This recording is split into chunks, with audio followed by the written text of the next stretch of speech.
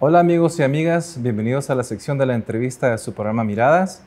Este día podemos decir luces, cámara y acción, pues tenemos como invitadas a dos salvadoreñas que estrenarán pronto su película eh, Lienzo en Blanco. Bienvenidas Leslie Ortiz y Claudia Barrientos. Muchas gracias. Muchas gracias por la invitación. Cuéntenos, eh, eh, Leslie, usted es la directora de la película. Co-directora, somos dos directoras, Gabriela Cruz y, yo. ¿Cómo surgió la idea de, Lienzo en Blanco y hace cuánto? Fíjate que Lienzo en Blanco surge por el año 2015, ya hace algo. Em, en ese tiempo existía un financiamiento en El Salvador que se llamó Pixels, que era apoyado por el Ministerio de Economía. Entonces, eh, junto a Gabriela Cruz y Claudia Barrientos, aplicamos eh, con todo lo que eso implicaba, ¿verdad? Que era presentar una carpeta de producción. Las carpetas de producción de todo proyecto cinematográfico incluyen una serie de elementos, desde el guion hasta presupuesto, plan de financiación, rodaje y propuesta estética de, parte, del, de, parte de, los profesionales de fotografía, de sonido, de arte en general. Entonces, eh, yo ya venía trabajando esta historia en el 2015. Surgió a partir de un montón de, aspectos. Eh, primero, de la necesidad que, yo tenía de hablar sobre temas de mujeres, en este caso, mi necesidad de hablar y expresarme eh, sobre la violencia de género, la violencia hacia las mujeres en específico que se vive a diario en nuestro país.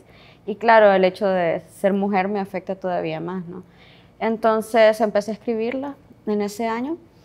Em, también tuve la oportunidad en ese tiempo de conocer y entrevistar a una pintora salvadoreña que se llama Crisia Barahona. Y hablando con ella me comentó que uno de sus áreas de trabajo era impartir talleres de arte terapia a mujeres que habían sufrido diferentes tipos de violencia, de violencia física, verbal, psicológica, sexual, y que eh, siendo la pintura su forma de expresión, las ayudaba a estas mujeres a canalizar todo ese sufrimiento a través precisamente de la pintura. Entonces me pareció súper interesante que ella estuviera explorando de esa forma y el, arte y me pareció también súper valioso que estuviera ayudando a mujeres también en esa vía. Entonces, a partir de ahí eh, surgió una de las protagonistas de la historia, que precisamente es una pintora que imparte talleres de arte terapia y eh, es el hilo conductor del lienzo en blanco. A través de ella van a eh, condensarse diferentes historias de violencia hacia mujeres y a través de ella también vamos a conocer a las otras dos protagonistas y sus historias específicas, ¿verdad? Entonces, un poco por ahí surgió, solo para complementar. A finales de, ese año eh, aplicamos al fondo Pixel y el proyecto resultó eh, ganador de un financiamiento que permitió su ejecución en el año 2016. En el año 2016 grabamos a mediados de año. El rodaje duró aproximadamente dos meses y ahí empezó un poco la historia de, lo que ahora es Lienzo en Blanco. Eh, ¿Cuál sería como la sinopsis o cuál es la historia sin contar la historia de la película? Las sinopsis siempre son difíciles y a mí siempre me cuesta contarlas, la verdad, pero podríamos decir que Lienzo en Blanco se trata de la historia de tres mujeres, una pintora, una vendedora de plantas, una costurera, que están viviendo diferentes situaciones de violencia y cómo ellas se encuentran y se acompañan para poder superarlas y buscar su idea de justicia. Entonces, más o menos por ahí va de lo que habla el lienzo en blanco, o sea, es la unión de estas tres mujeres eh, y su necesidad de que sus historias y sus situaciones no sean invisibilizadas en un país como es El Salvador, donde la impunidad está a la orden del día, ¿no? Sí, claro. Claudia, usted es eh, productora y productora ejecutiva de la película. Somos tres productoras ejecutivas. Sí, entiendo que eh, también tienen como diversos papeles dentro de la producción, ¿verdad? Sí. A los cines salvadoreños, como solemos hacer, cada uno hace varias cosas. Eh, ¿Qué ha sido como lo más retador, digamos, desde un inicio del proyecto?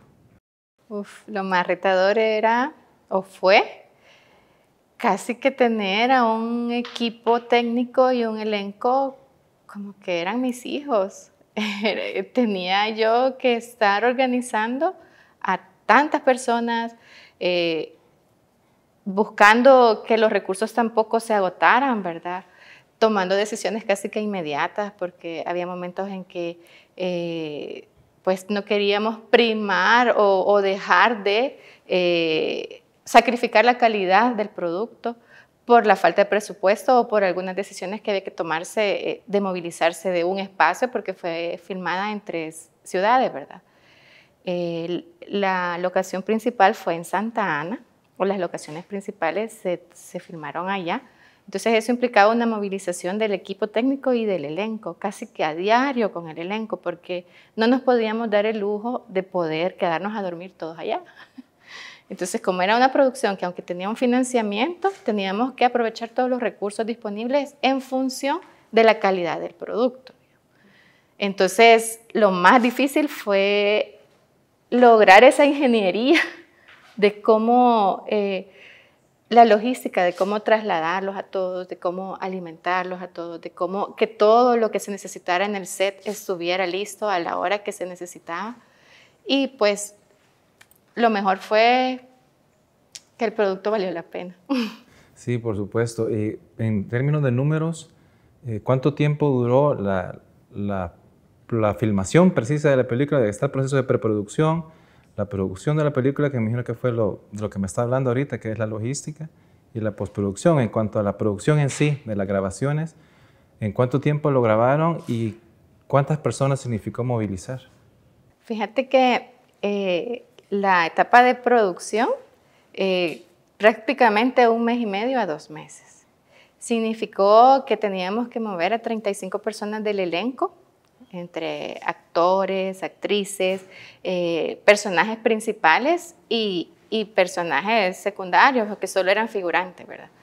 Eh, incluso algunos eran de allá, de Santa Ana, pero igual, siempre había que moverlos.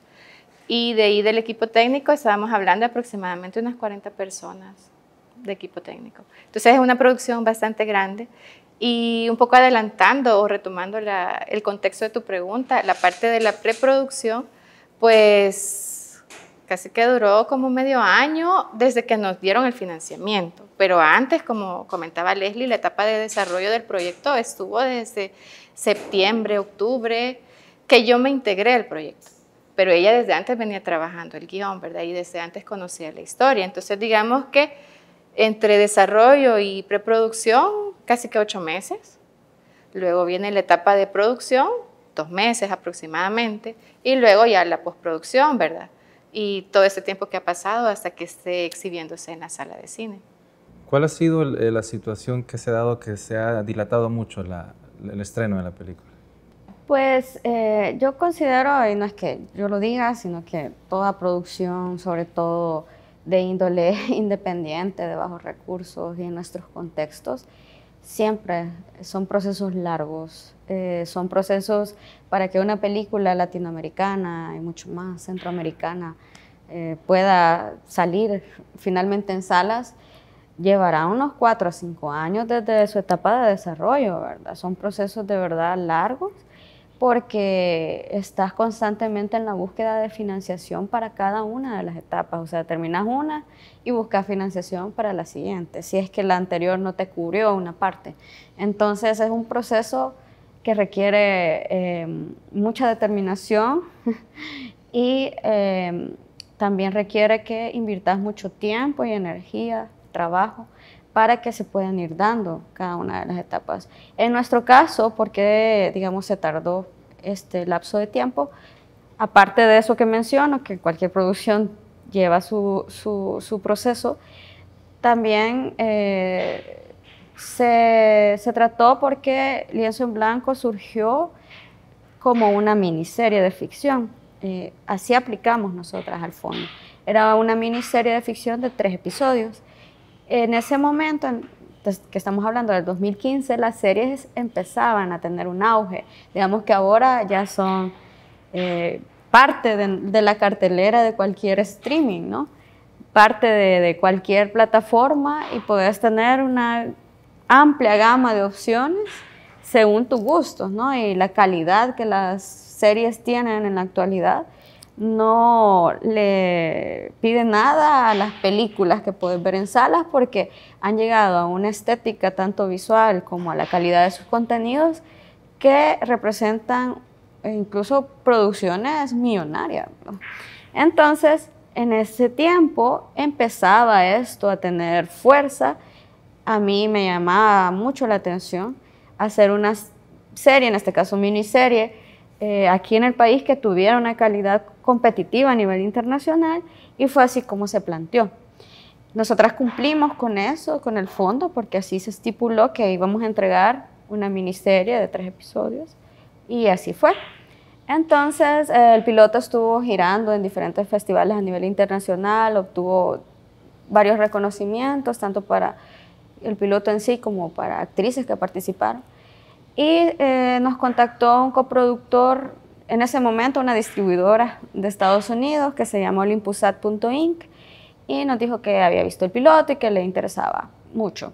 Eh, enviamos la información que se nos solicitó y en plena pandemia en el 2020 tuvimos nuestra primera reunión virtual con esta gente y nos dijo que, que le gustaba el contenido, la calidad de, de, lo que había visto y que la propuesta que nos tenían era que eh, hacerla en formato largometraje porque ellos consideraban que eso le podía dar más, más posibilidades de, de difusión y que también eh, la calidad con la que estaba filmada en este caso lo permitía, así como la narrativa de la historia misma. Entonces nos hicieron esta propuesta y ellos asumieron los costes de, la postproducción de esto. Entonces se volvió a hacer eh, todo lo que implica, ¿verdad? El montaje, la musicalización, la colorización. Y eso resultó en un trabajo que se prolongó un año y medio prácticamente desde el 2020, porque todo fue trabajado a distancia debido a la pandemia. Entonces, eh, he ahí las causas por las que ahora en el 2022 finalmente contamos con el DCP, que es como la, la copia para cines, y la podemos disfrutar en cartelera. ¿Qué sintieron ustedes en ese momento cuando eh, sintieron que iban a ser apoyadas por una empresa formal, digamos, dentro de la industria cinematográfica? Pues fue una gran alegría, una gran emoción. Estábamos con Gabriela Cruz, la, la otra directora de Lienzo en Blanco, cuando recibimos el correo y, y nosotras, o sea, antes de eso, aunque el piloto había rondado, como te digo, a nivel internacional, sí había cierta incertidumbre, ¿verdad? Toda producción llámese largometraje, serie, necesita de un distribuidor, necesita garantizar distribución porque si no, es lo que pasa mucho, ¿no? que, logras terminar, hacer un esfuerzo eh, titánico para terminar una película, pero y después, ¿cómo se va a ver? O sea, ¿cómo va a salir del país? Entonces, el hecho de que un distribuidor, eh, digamos que de, de Estados Unidos, con una propuesta así formal nos contactara. Eh, nos llenó de orgullo, de satisfacción, de emoción, porque finalmente salimos de esa incertidumbre de decir, entonces, después de que termine de festivales, ¿qué, qué va a pasar? ¿no? Entonces, eso sí, también a la par de tener esa emoción y alegría, también nos, nos asesoramos, ¿no? Cómo, cómo trabajar con, con una empresa de estas características, porque fue nuestra primera experiencia haciendo un contrato así y sobre todo asegurarnos de que no perdiéramos como nuestra injerencia creativa en el proceso de post. Eso sí, siempre lo estipulamos por contrato, o sea, no era entregarles el material y bueno, ahí me avisan cuando esté la película, no. Nosotras estuvimos involucradas en cada una de las fases de, de, de postproducción, estuvimos involucradas, trabajamos de la mano con el editor, con el colorista, con el sonidista, la música nosotras la escogimos. Entonces, la visión artística con la que inició el Blanco eh, continúa y se fortaleció ahora que ya está en ese formato de, largometraje. Claudia, ¿cómo percibe esta industria eh, cinematográfica a nivel nacional? Digamos que tiene más de 15 años quizás de estarse intentando forjar una industria salvadoreña y llegamos a 2022 y prácticamente seguimos igual. ¿verdad? Yo no sé, eh, con la experiencia que tiene en el campo de la producción audiovisual, ¿cómo ha visto el progreso de, de esta área en el país y qué se puede esperar a corto plazo? Pues la verdad que estamos haciendo y estamos caminando. Entonces, eso es importante y no tenemos que dejar de lado que sí existimos y que sí están los deseos y que se están concretando esos deseos. Yo pienso que eh, con las iniciativas que hubo hace ya varios años con esos premios Pixel, ¿verdad? Muchas de las producciones que ahora están en las carteleras o que podemos eh, ver en festivales internacionales también han sido fruto de ese impulso. Y ese impulso ha venido también un tanto lento con el impulso anterior que tuvieron los, pues sí, los que, los que sacaron adelante todo el, el, ánimo de organización, porque antes de todo ese impulso Pixel hubo un gremio o una cantidad de personas que dijeron asociémonos, hagamos algo, veamos porque el gremio audiovisual esté junto, ¿verdad? Y que pueda luchar por que exista de verdad una industria, pero para que haya industria no solo se necesitan creadores, sino que también se necesitan apoyos de todos los sectores sociales tanto del sector privado como del sector público y del sector creativo.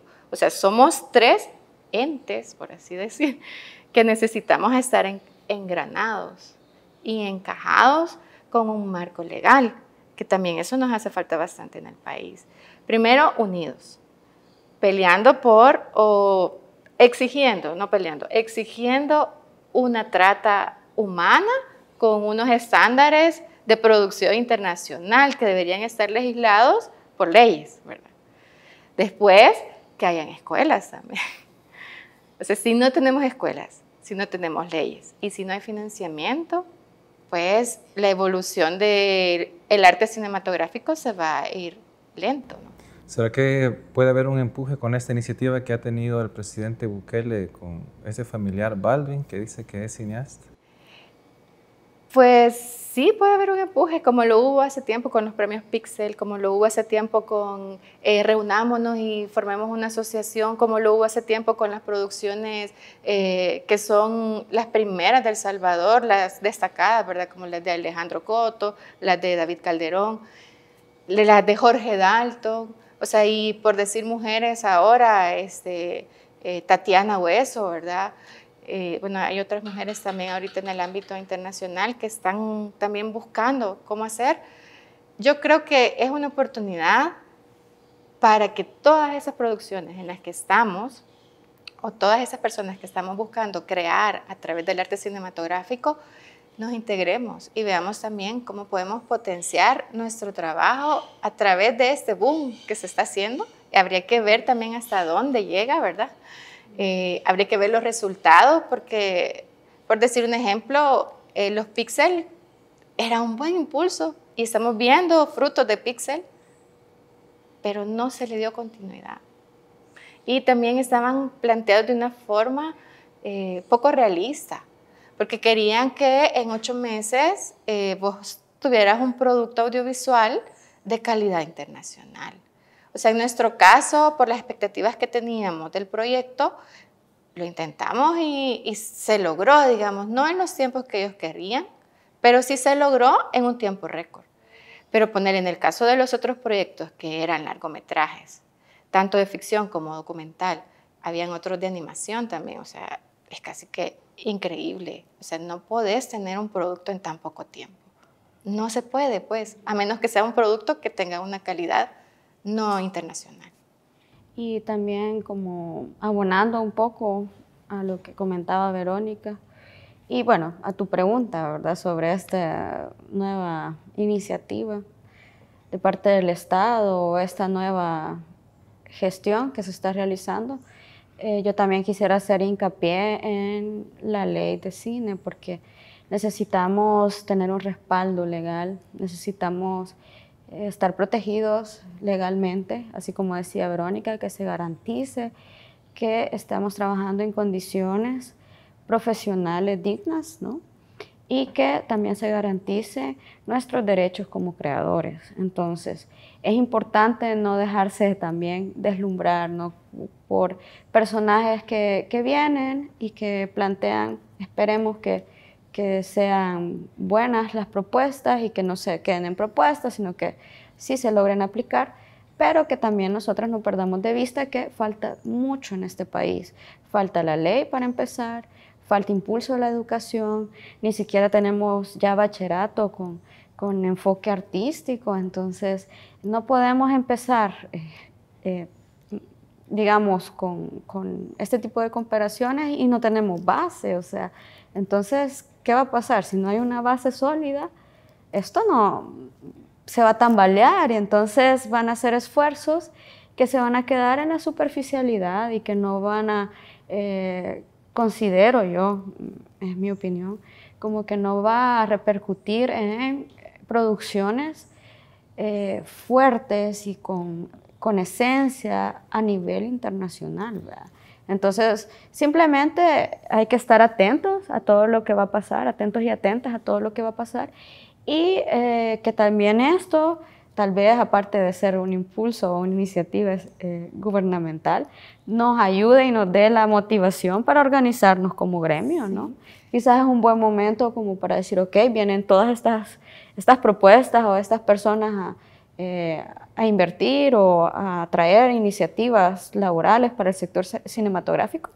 Bueno, despertemos, quizás es el momento para que nosotros como gremio también asumamos eh, asumamos la responsabilidad de impulsar y de presionar para que las condiciones se den como deben de darse.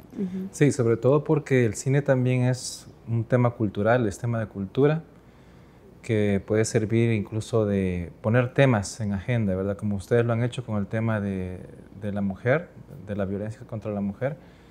Eh, en ese sentido, eh, ustedes hicieron este enfoque de género pero también lo trabajaron así, entiendo. Dentro del equipo de producción creativo están muchas mujeres involucradas en, él. ¿Cómo fue trabajar entre ustedes? Pues fue divertido y también, como toda producción, estresante. La verdad que uno de los, una de las razones personales por las que yo me sumé al proyecto, aparte del guion y del tema, ¿verdad? Era esa, que iba a trabajar con mujeres, porque el gremio audiovisual es un mundo lleno de hombres, entonces en el que vos sufrís violencia a cada momento. Y creo que era un desafío lograr un equipo de mujeres que tuviera esa fortaleza y que se posicionara como que podemos hacer un producto de calidad hablando de temas de mujeres y no hablando de un tema desde un punto de vista institucional, digamos, o de la pura estadística, ¿verdad? Sino que presentándolo de una forma artística y que fuera válido para cualquier persona que lo viera, pues, que esa persona se sintiera identificada como cualquier película que vaya a ver al cine. En ese momento no lo pensábamos como una película, aunque sí se nos cruzó por la mente, ¿verdad? Pero la decisión, ya que el concurso fue eh, una serie de televisión, pues se pensó como y se terminó así. Después, con lo que contaba Leslie, pues se vino el giro y se ha, hecho un cambio en cuanto a la calidad del producto ya para la pantalla grande, porque además el producto grabado lo permitía. Y en realidad es una satisfacción como mujeres para nosotras decir que es un, producto de cine hecho por mujeres. Y nos llena de gozo, eso pues, nos llena de orgullo. Sí, al mismo tiempo eh, creemos fielmente en la necesidad de que haya más mujeres, eh, más mujeres trabajando proyectos, liderando proyectos cinematográficos y también más historias con enfoque en temáticas de género, porque es bien diferente la visión o la mirada que una mujer pueda tener hacia un tema, por ejemplo este de la violencia eh, hacia la mujer, porque lo has vivido, lo vivís desde el hecho que sos una mujer salvadoreña que nació acá y que ha crecido acá y que puedes tener una, en todos estos años de recorrido, un montón de historias, un montón de experiencias eh, personales y de amigas, de, familia, y tenés una sensibilidad diferente, solo partiendo de eso. Entonces, eh, vale la pena que, se siga, que más mujeres se animen a contar. Y también que de hecho lo hay, hay varias representantes salvadoreñas, como Brenda Vanegas, que está haciendo, ya tiene tiempo, realizando obras cinematográficas, Marcela Zamora, que ya es bien conocida, una de las documentalistas latinoamericanas más reconocidas, Celina Echer, que sacó eh, un documental súper fuerte de nuestra libertad, que que habla y se enfoca sobre la temática del aborto y otro tipo de violencia hacia la mujer, que es más sistemática, ¿no? Eh, entonces, habemos mujeres eh, contando cosas en El Salvador, habemos mujeres salvadoreñas que sí ya tenemos cierta trayectoria y, y tienen que haber más todavía, tienen que haber más.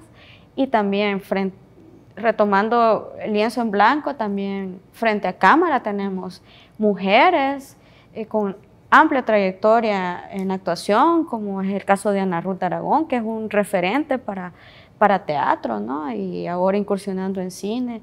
Este, Lilibet Rivas, que también ya ha participado en varias producciones cinematográficas, que ha logrado eh, llegar a nivel internacional. Alicia Chong también. Entonces, Lienzo en Blanco es bastante integral en ese aspecto porque estamos tanto frente como detrás de cámaras mujeres que, que, ya tenemos eh, peso, digamos, eh, profesional en lo que hacemos y que todas unimos nuestra fuerza y nuestra energía y nuestra pasión para contar lienzo en blanco. Yo creo que eso se, se, va a sentir, la gente lo va a sentir en la pantalla como la fuerza que tiene y, y eso, ¿no? Sí, qué bueno que lograron una excelente sinergia y la película es muestra de eso, ¿no? Eh, quizás ya para ir terminando la, entrevista, una invitación, Leslie y Claudia Verónica, sobre el tema de no solo ver la película, sino de impulsar a las nuevas generaciones a hacer cine. Sí, la verdad es que es importante que vayamos sumando. Entre más personas seamos las que estamos trabajando en este sector, pues más gremios, más producciones van a haber. Y también que impulsemos las acciones legales que necesitamos, ¿verdad?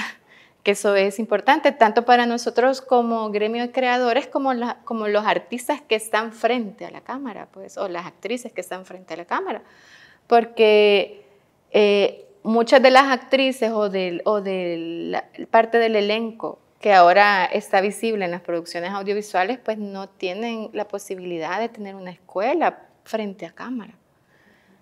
Son pocas las que han tenido esa experiencia y qué bueno que nosotros, nosotras escogimos a, mujeres que ya habían tenido una experiencia, pero no frente a una película. Bueno, Lilibet, creo que El lienzo en blanco fue su primera experiencia cinematográfica. Entonces, también nos llena de orgullo que El lienzo en blanco le haya servido como plataforma para poder proyectarse en la pantalla grande, digamos. Y eh, pues sí, invitamos a las nuevas generaciones a que se unan, que se capaciten, que consulten, que hagan, ahora con las nuevas tecnologías, pues con el celular puedes grabar y eso te permite eh, probar y contar historias, no con una calidad técnica súper guau para una pantalla grande, pues, pero sí te permite poder desarrollar una historia y contarla con tu estilo, ¿verdad? O sea, depende de tu estética, depende de tu idea, depende de tu equipo también y de tu actuación, de, toda una gama de de condiciones que reúne el cine, pues por eso se llama el séptimo arte, ¿no? hay que tener para las personas que estén interesadas en incursionar, ¿verdad? En este arte cinematográfico, es importante que sepan que eh, es un trabajo sumamente absorbente, eh, tenés que tener mucha determinación y sobre todo tenés que tener algo que decir, porque es arte al final, o sea, una necesidad de expresión. Entonces esa misma necesidad de expresión es lo que al final te va a dar la fuerza para, para seguir y para eh, al fin culminar ese, ese, interés que en el caso del cine es la pantalla grande, ¿verdad? O ahora las plataformas, que son otra forma de, de exhibición, también válida, ¿no? Y que a través de ella se puede llegar a, muchas personas. Entonces eso y enfocarse también en la preparación académica, eh, exigir, exigir que exista en nuestro país. En mi caso fue igual, yo me gradué de, comunicaciones porque no había una opción más cercana a, mi interés, ¿no? Y tomando talleres eh, como he podido, ¿verdad? Donde he podido.